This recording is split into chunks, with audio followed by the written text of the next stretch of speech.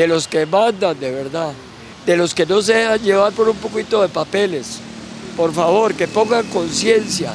Policías, ustedes hacen las cosas bien, ustedes las hacen bien, los jueces los están haciendo ver mal a ustedes. Este hecho ocurrió durante este fin de semana en San Josecito de Alajuelita.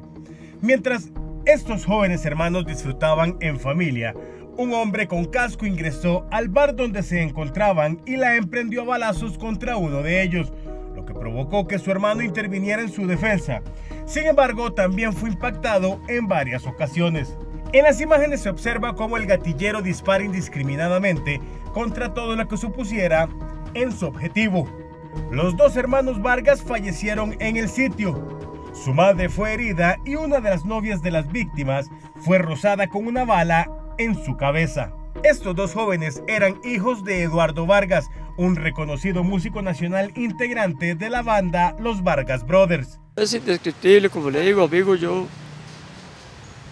Dios, no tengo palabras, es que es algo durísimo. Me quitaron dos brazos, me quitaron parte de mi vida. Y como les digo a esos que lo hicieron, lamentablemente por los papás de ellos, pero lo que uno siembra, eso recoge. Su padre recuerda que los dos jóvenes eran muy amorosos con su familia. Por medio de mensajes de WhatsApp mostraban el cariño. Yo te enseñaré el chat de ellos todos los días. Pa, te amo, que Dios lo bendiga, pa, está en el trabajo, pa, comió. E, e, ese era, ese era el pan de cada día. Buenos días, buenas noches, que Dios me los bendiga los amo. E, eso era, eso era la relación de nosotros. La impotencia que siente este padre lo lleva a pensar cosas que sabe que no realizará. Porque yo deseo ser un superhéroe para ir a agarrar a esos chavalos y matarlos. Honestamente, si te lo digo de corazón. Pero a la vez, yo digo, bueno, Dios, usted permitió eso, porque Dios no lo quiso. Él lo permitió por algún motivo. Y yo solo le pido a Dios que me dé fortaleza por ahora, aún no se tiene claro lo que provocó el homicidio de estos hermanos. Mientras tanto, el papá le envía un mensaje a los padres de familia a estar pendientes de los caminos en los que andan sus hijos. Que no suelten a sus hijos. Cuando están grandes ya, uno no puede, no tiene control sobre ellos.